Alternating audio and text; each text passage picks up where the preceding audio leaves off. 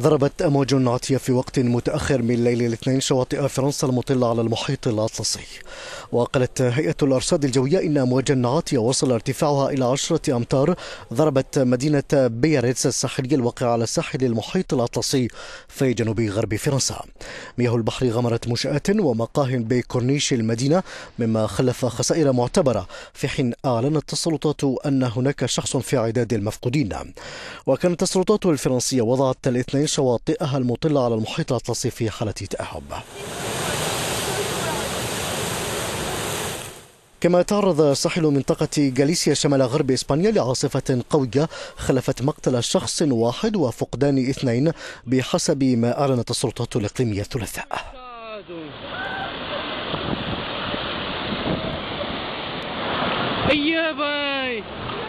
أما في البرتغال فقد أدت الأمواج القوية التي ضربت الاثنين السواحل البرتغالية إلى إصابة أربعة أشخاص وتدمير عشرات السيارات في مدينة بورتو شمال البلاد.